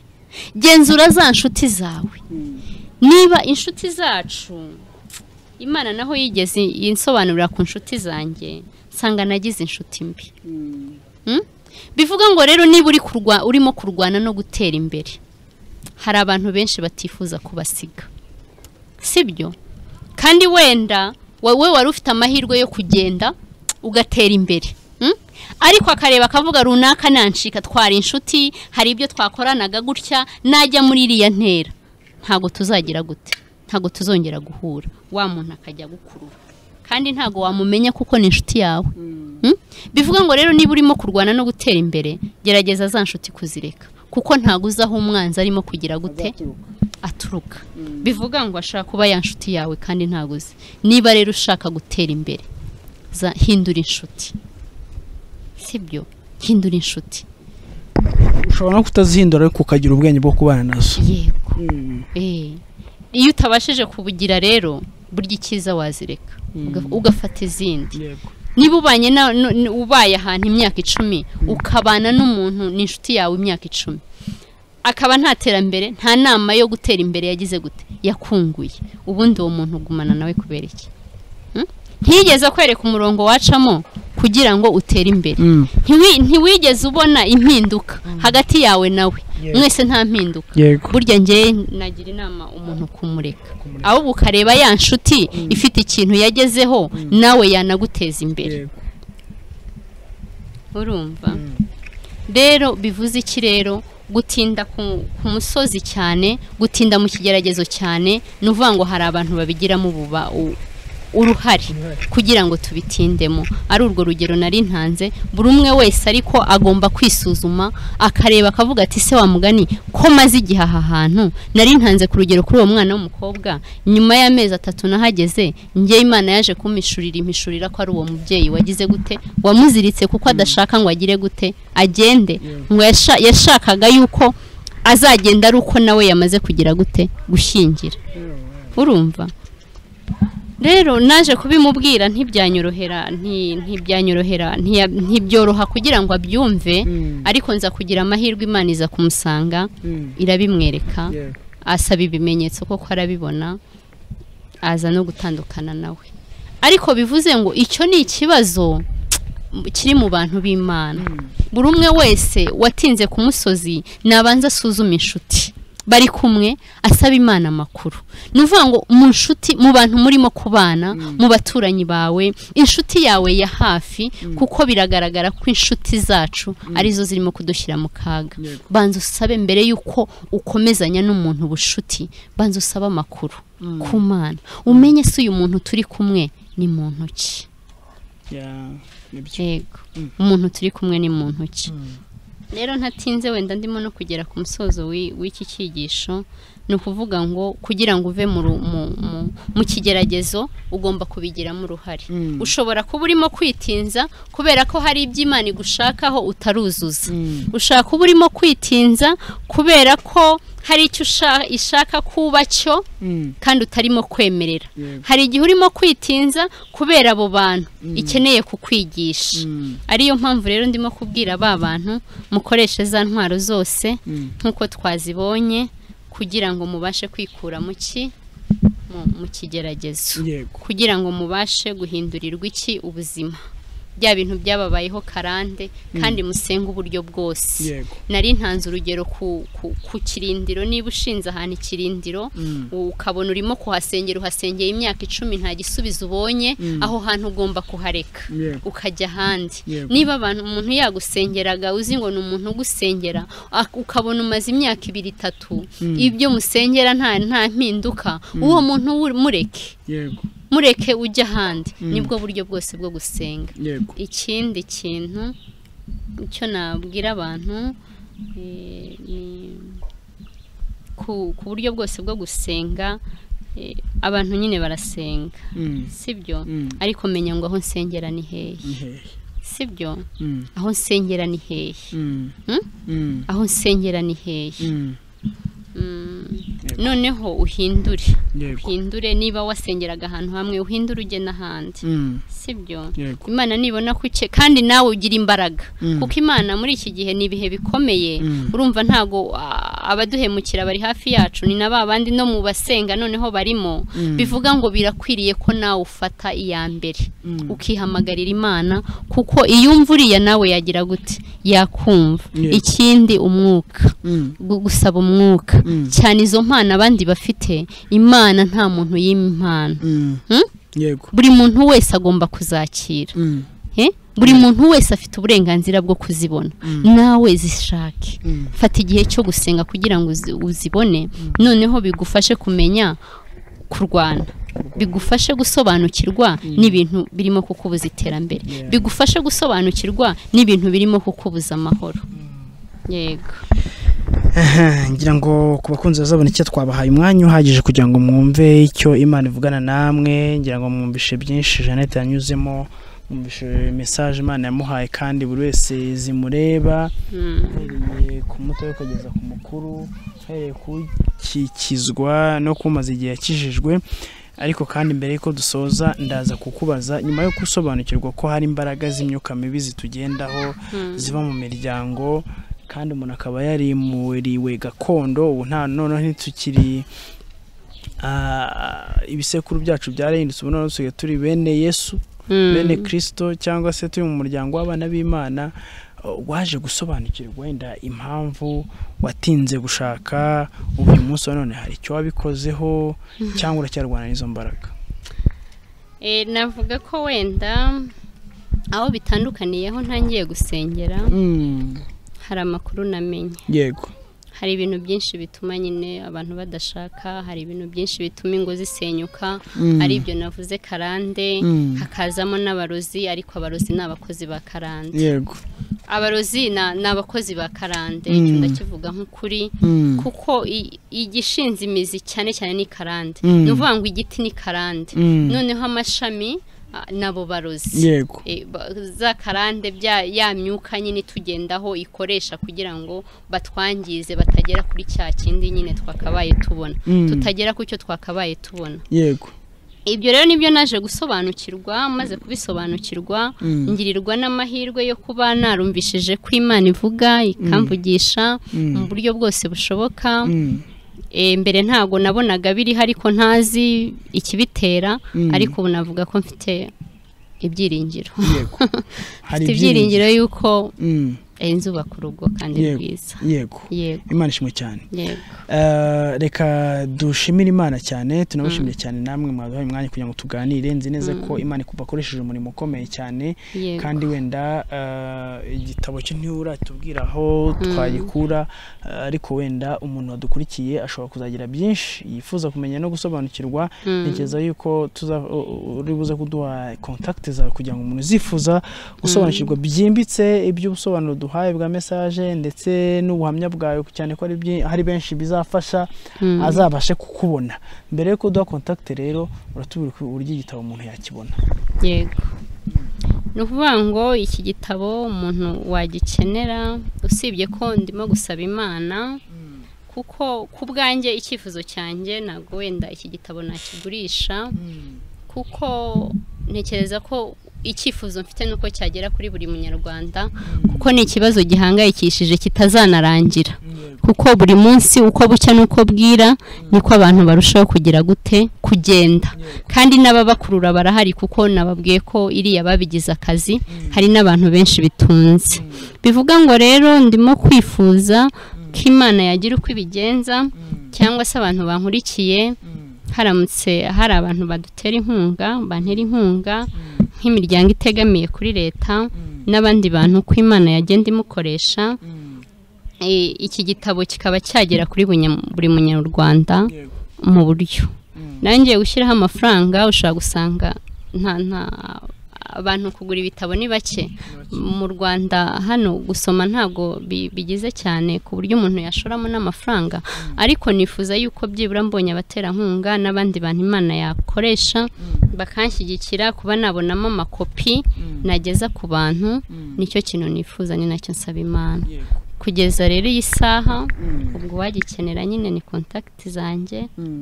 Yego. Ah, o- o- o- kugira ngo ubone abaterankunga bagufasha kwandika iki gitabo wenda uraza kukimanitse nk'usomera abantu gatoya. Ngis- nsomere abantu gatoya. Mm. Ah, igitabo cyitwa ubucakara mu yindi sura. Bantu muritonde Mm. cyateguwe na tuyisenge jeannette cyangwa Janet- Mm. Nimero ye hariho zeru karindwi umunani icumi mirongo itandatu n'umunani tanu gatatu gatandatu. Mm. ngira ngo ni igitabo kigizwe na paje zingahe? Ni makumyabiri n'enye. Ni paje makumyabiri n'enye hagiye harimo amafoto hagiye harimo ibintu bigiye bitandukanye. Kubona ah, indi kopi nk'iyi ngiyi ya- byatwara nk'angahe? Kubona indi kopi ari imwe se? Imwe yonyine. Eh, ni ukuvuga ngo imwe yonyine ni ibihumbi bine. Ibihumbi bine. Mm. bivuze ko umuntu udukurikiye ashobora kuvuga ati wenda ndeka ngurire abantu. Aka Mm. gatabo nk'abantu icumi ubwo ni ibihumbi mirongo ine abantu Mm. ijana ni ibihumbi magana ane.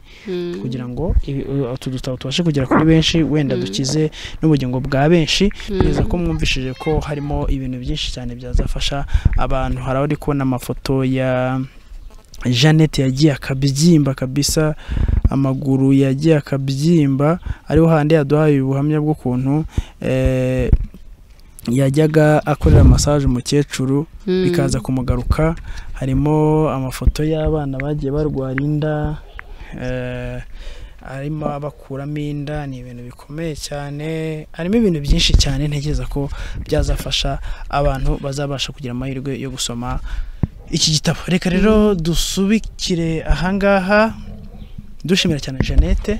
Hanyuma jeannette niba nta kindi kintu afite cyo kutubwira Mm. araza gusoza n'isengesho. Mm. Eh, icyo nasaba abankurikiye nyine ni ukunshyigikira kugira ngo icyo gitabo kibashe kugera ku bantu benshi kuko numva ari nk'ako kazi mfite ni na kimana navuga yangaruriye gukora kuko n'ubundi nta kandi kazi ndabona. Ni ukuvuga ngo hari itsinda twakoze nk'abantu bahuye n'ibyo bibazo. Eh, iryo tsinda n'ubundi ninjye urihagarariye. Noneho turifuza nyine kuzenguruka dutanga ubu butumwa. Bivuga ngo nyine n'ubundi dukeneye sapoti ku bantu badukurikiye ku banyarwanda n'abayobozi. Buri muntu wese ukunda u rwanda adushyigikire kugira ngo tubashe gutambutsa ubuhamya bwacu. Tububwira abantu tukumira nyine abantu benshi barimo kujyayo kuko n'ubu baracyari benshi. Ndetse n'utu dutabo tubonetse tukatugeza ku banyarwanda na byo byaba byiza kurutaho. Eh, nkaba nshimira abantu bose bankurikiye kandi n'abazakomeza kudushyigikira. Mbese dukeneye sapoti mu buryo bwose bushoboka mu nama mu bitekerezo. Icyo twifuza ni uko ibi bintu bicika. Bigacika kuko birimo gushyira ubuzima bw'abantu benshi mu kaga.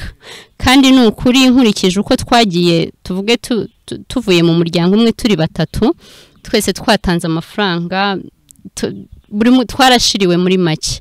Ni ukuvuga ngo twasenyeye imiryango yacu kubera ko ababyeyi nibo barimo kudufasha. Badufasha kugenda azi ngo ugiye mu kazi nawe usiga umusenyeye.